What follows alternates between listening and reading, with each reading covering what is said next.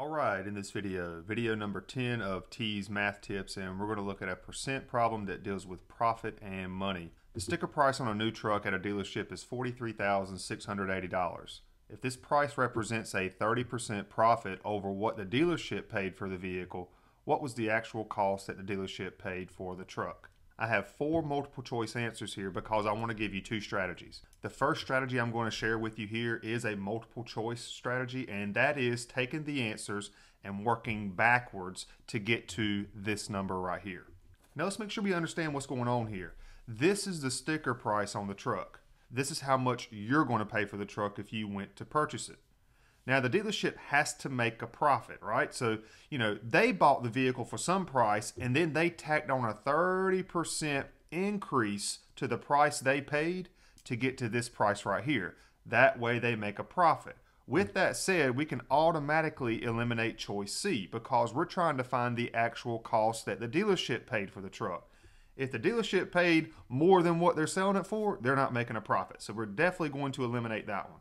So let's think of all of these numbers. These are the possible prices that the dealership could have paid for the truck. Now, what some people will do, and this is incorrect as well, they'll take 30%, because it is a 30% profit, and they'll find 30% of, that means multiply, and they'll do $43,680. And some people will look at this and say, well, that's how much profit they're making. So what one would do from here is they would take that $13,104 and they would subtract it from this. Well, let's do that. 43,680 minus that number we just found a moment ago, 13,104, and you get 30,576.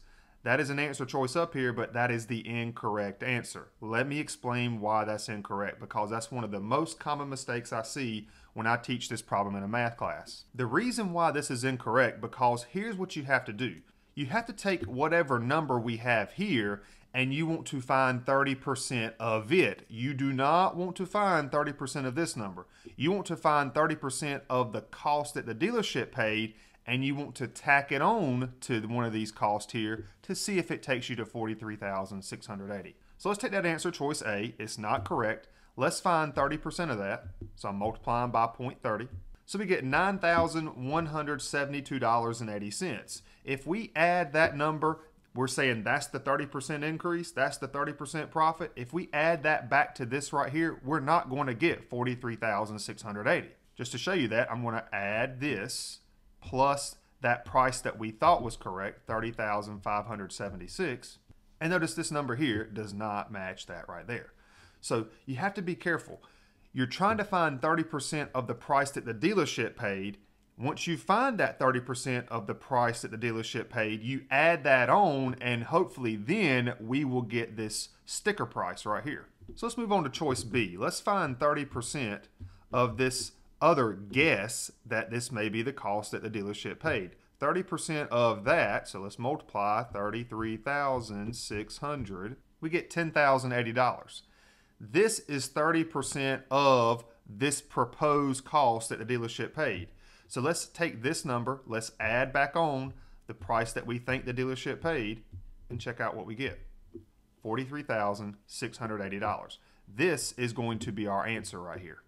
I'm not even going to check choice D. I know that this is the correct answer. Now let me show you another way to work through it if you didn't have multiple choice. This is how you want to think about it the dealership's price, the price they paid, plus the profit that they want to make off of this vehicle, that's going to be equal to the sticker price. So let's act like we don't know this. Let's call this X. How do we find the profit that the dealership wants to make for this second part right here? The dealership's profit is going to be 30% of, which means multiply, whatever they paid for the vehicle the dealership's price that they paid for the vehicle was X.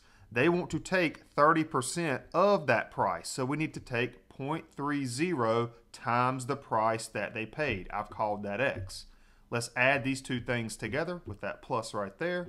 And this will be equal to our sticker price of 43,680 bucks. Now, if you combine like terms and solve this equation for x, we are going to get 33,600. This is 1x plus 0.30x, that's 1.30x, or you could just write 1.3x, is equal to 43,680. And to solve for x here, we need to divide by 1.3 on both sides to get x by itself. And again, 1.30 and 1.3 are the exact same thing. We have x by itself. Let's take the 43,680 and let's divide by 1.3. And check it out. We get $33,600. There's our answer right there. Either approach works, but the benefit of knowing this technique here and understanding what we're really doing that will save you if you did not have a multiple choice test because you would be guessing and checking all day trying to come up with some number, finding 30% of that number, and then adding that on to get 43,680. I hope you see what I'm saying there. But if you do have a multiple choice test, by all means, go through these numbers, find 30% of them, add that back to whatever number it is, and see if you get to your sticker price. And there you have it, video number 10 of TEAS Math Tips. And that's it for this video. I hope it helped.